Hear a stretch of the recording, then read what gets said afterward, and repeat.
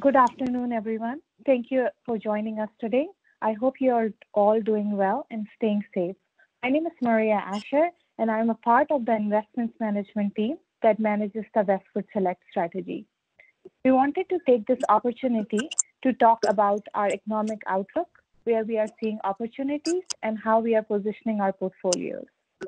We also have Leah Bennett and Adrian Helfert joining us on the call today. Leah is the president of Westwood Wealth Management, Houston, and the lead management ma- lead manager on the Westwood Select strategy. Adrian is the director of multi-asset portfolios and a specialist in macroeconomics. With that, I would like to hand over to Adrian, who will talk about our economic outlook. Hi, Adrian.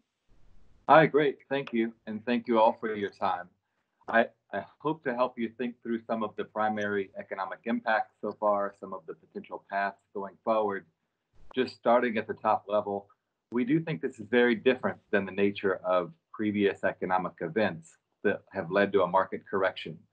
We're experiencing something that I've termed the consumption void that's leading our usual economic engine in the United States, which is consumption or a 75% contribution to the annual economic output, to grind to a halt.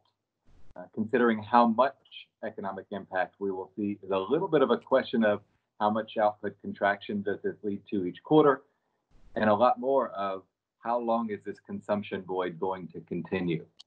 On the how much of the near term output contraction, we're already seeing the negative impacts in unemployment reports this last two weeks. That's probably the first indication we get, and it's going to get worse.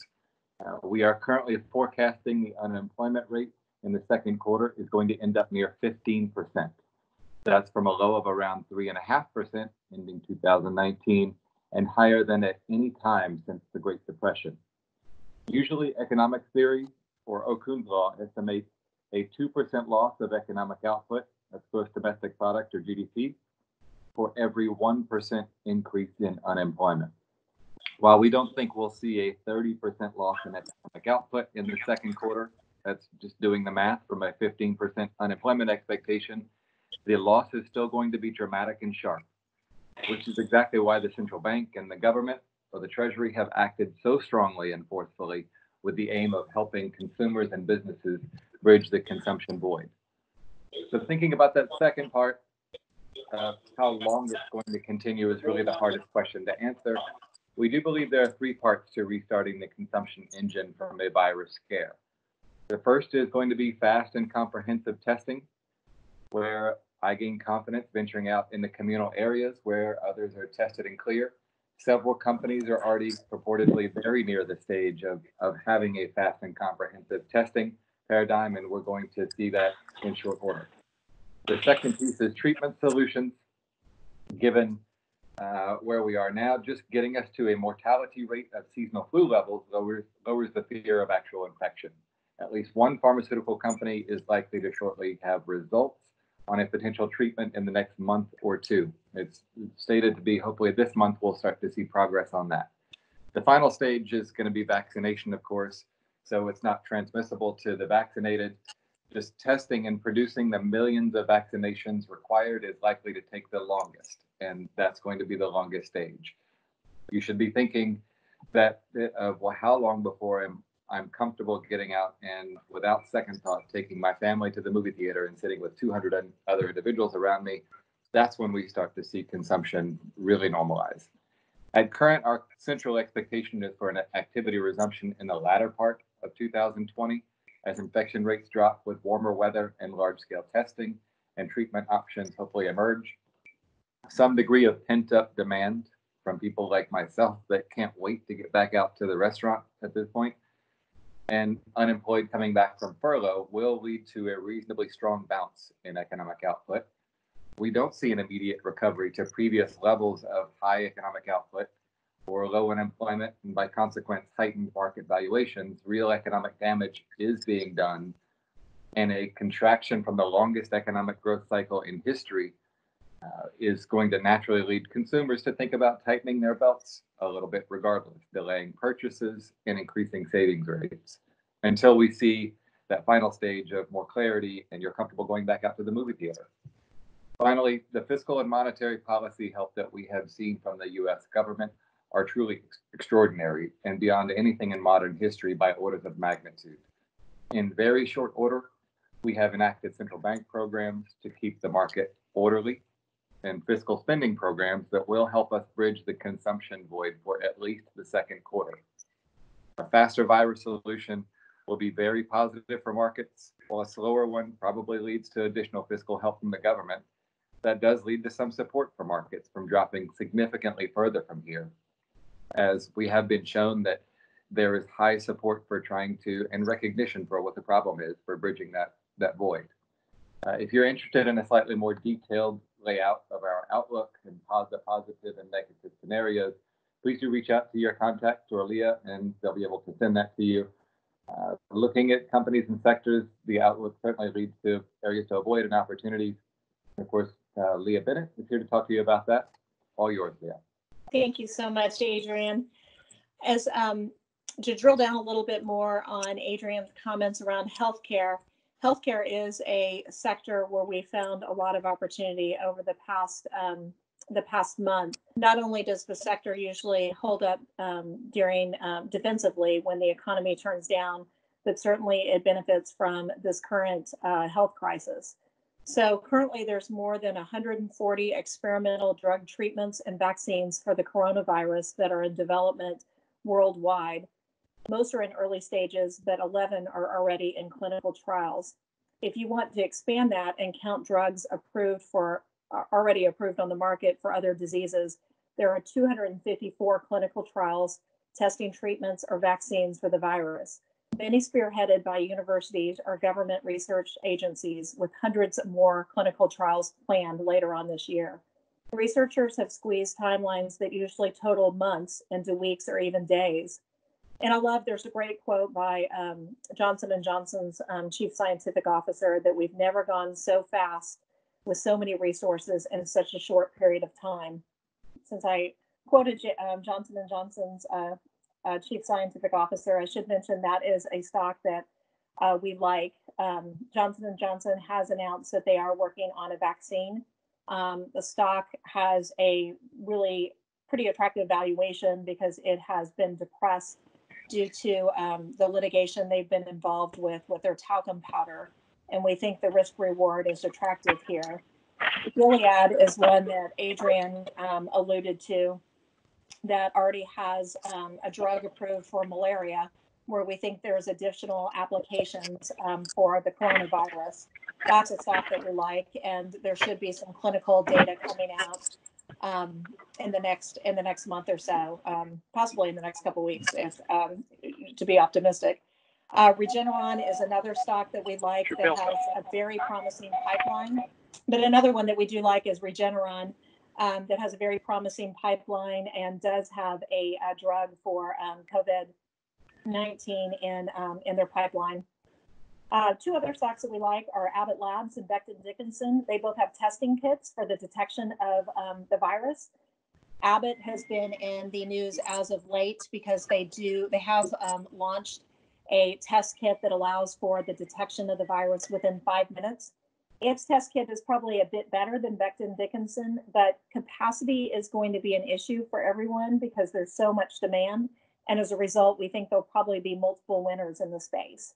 Um, Emergent Biosolutions, another stock we like.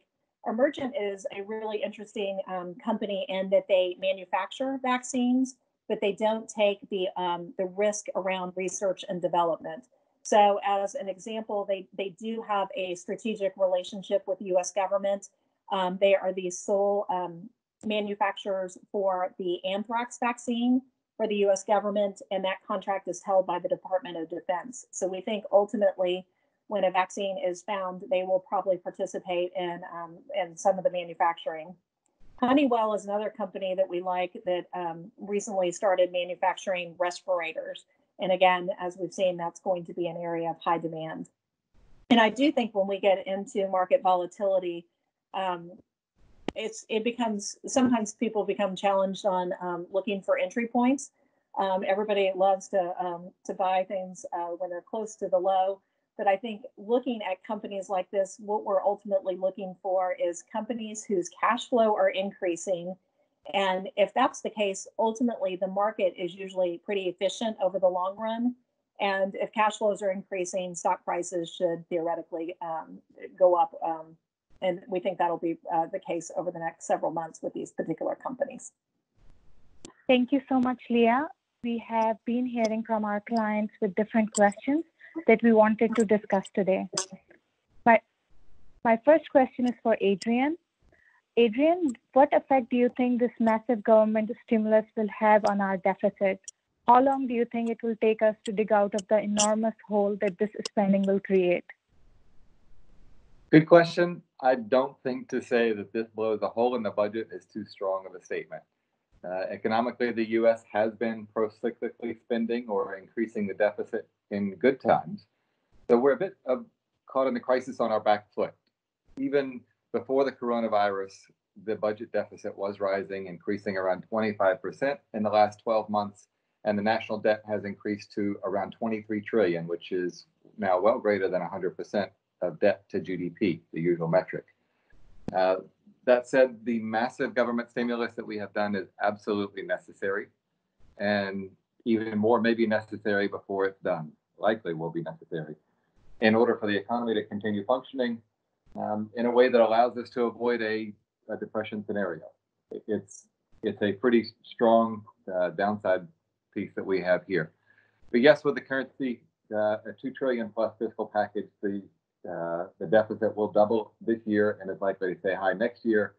Uh, that deficit is going to take the national debt from around 23 trillion today to around 29 trillion next year in a time where economic growth is likely lower than average. Uh, near term, more deficit spending will be required to bridge that consumption void we talked about. Medium and longer term, we're either going to have to grow at a fast pace, that's not our central expectation, or tighten our belts further to prepare for higher expected taxes in the future, or simply print money to pay down the debt. And that's an emerging school of thought known as monetary theory that often ends in bad outcomes for emerging markets to describe this. But it's a it's a narrow path in order to to get both growth and bridge that consumption void. What all this means is that the height, heightened deficit and debt load will create a natural ballast against resurgent high growth from the fiscal programs. While we do expect us to be able to bridge the gap and emerge from the crisis on a growth path, we expect that it's going to be an average lower slow growth, uh, slower growth path for at least the next five years. Thank you so much, Adrian. Leah, my next question is for you. Where do you see the future opportunities lie in terms of investments? Yeah, that's a great question. So if you look at the sectors that have been hit the hardest as we've gone through this downturn, it's been um, energy, it's been travel and leisure. We've seen the airlines, the hotels, the restaurants, um, the retail stores really hit hard. Um, and so what we've been looking at are um, companies where the stocks are down significantly, but where there's a business model where there's no tangible asset they have to maintain. So um, to give you an example of what we don't think is attractive, so if you take the, the cruise companies, for example, um, obviously their revenues have come down significantly, but they have a tangible asset they have to maintain um, through this downturn. So they have a lot of cash outflow, a lot of capital expenditures associated with maintaining that asset. Um, so we've been looking at for companies where there's more um, flexible business models um, and one um, that we definitely like is booking.com. So booking.com benefits from travel, but it's a software company and um, they own Priceline, Orbitz, hotels.com. They have $11 billion in cash, so a really solid um, balance sheet, but there's just not a lot of um, strain on their cash outflow during this period. So that's a stock we we we like and are looking more for companies that fit that sort of business model. And then to echo um, Adrian's comment, I think there is a lot of pent up demand for um, for people visiting restaurants when um, this, these lock-in situations are over. So that's an area where we're looking for some opportunities, and um, I think we'll probably add to the portfolio in that area. Thank you, Leah. That was very interesting. Uh, Adrian, a question for you. As more people are under a shutdown and staying in, how do you think it makes the companies rethink their supply chain management? Well, um, at the very inception of this virus impact really starting, that's around early mid February, the supply chain was the first of the dominoes to fall. We were still working, shopping, going to the movie theaters, and buying cars, but our suppliers in China and other places for parts for those new cars, iPhones, etc., were experiencing shutdown of plants, forcing thousands of companies to throttle down or temporarily shut assembly and manufacturing plants in the United States and Europe. The concern at that time was whether the global supply chain problem would lead to a demand problem and a subsequent economic slowdown. Well, we're here now, and it is a demand problem. As the economy restarts and demand resurgence, resurges, companies will certainly take a hard look, we think, at their global supply chains for areas to reduce the risk of a similar closure in the future, potentially vertically, vertically integrating uh, and repatriating portions of the supply chain. In other words, smartphone makers might want to own a critical uh, part maker's plant for some of their phones. Auto companies might want to own, own more of the input parts of companies. That's the vertical integration. Repatriating means we could see less globalization and more working with local suppliers. This could lead to opportunities for us as investors in industrial input companies, right, right for vertical integration purchases, among other things. Leah, uh, my question is for you. Um, so you talked about the sectors that you are interested in and like. Which sectors you are most cautious about? Yeah, another great question. Um, so I, I, did mention one of the hardest hit sectors has been energy. And energy um, now, over the last two years, has been the most volatile sector and um, the worst performing sector. And there's there's been a nice little appreciation over the last um, week or so, but it's been a really challenging area as um, as there is a lot more supply on the market because of the energy revolution that we went through in the US um, a few years ago. And then obviously we have um, a significant decrease in demand um, as a result of this health crisis that's occurred. So we we do own um, two stocks in this um, in this space, um, and we have stayed defensive, owning companies that we think have the strongest balance sheets. we have actively um, changed our position over the last year in that we can we've had the opportunity to tax loss harvest several positions. So if an individual thinks about their um, their different accounts you have IRAs and um, retirement accounts that are tax deferred that you're not having to pay gains every year um, to the uh, you're not having to pay a tax on your gains every year to the government. And then you have your um, your savings account and um, trust accounts where each year, um, based on your realized gains, you have to um, you have to pay uh, the tax um, tax to the government. And one of our goals with the select strategy is to keep our realized uh, gains low. And so we have used the the opportunity from the volatility in that sector in order to um, uh, harvest harvest losses and um, keep our tax liability low for clients but this isn't a sector that we're looking to have a larger weight in um, versus the market. And it's also um, an area that we think it's been challenging because it's also an area where we think we need strategically some um, exposure because if you do have third parties, um, such as the Saudis or the Russians, that come to some sort of agreement, you can get significant moves in the in the group. So that's not my favorite um, sector. Um, but I do think there needs to be a little bit of exposure. And then the other area is utilities. Um, and utilities held up really well coming into this downturn and, and benefited our portfolio and our, um, and our clients. But now we have risk rewards that are heavily skewed towards other sectors. And so we've used that really as a source of fund um, to fund some of our new ideas. So um, I'm, I'm not, I don't like sector, uh, I don't like utilities as much um, at, at these levels. Thank you so much, Leah. My last question is for Adrian. So Adrian, Adrian, as we see the containment in new coronavirus cases hopefully soon, and people start returning to normal, what do you think this new normal economy will look like? Uh, gosh, what a big and broad question. It's amazing when you think that we went from questioning all the previous normal economy in mid February, and here some six weeks later, the expectations for the future state of the normal economy have completely changed. Uh, I do believe there are areas of process and technological change for which we have uh, painfully accelerated our adoption of which will be a good thing in the longer term. I'm in my office at home, and suddenly it's normal to attend conferences via Zoom video call. We're having food delivered from restaurants with Uber Eats, a delivery service, and cooking class subscriptions have actually spiked. Many or most of these technologies existed before, but now a large section of the population that didn't previously adopt these as much is learning and using these new skills.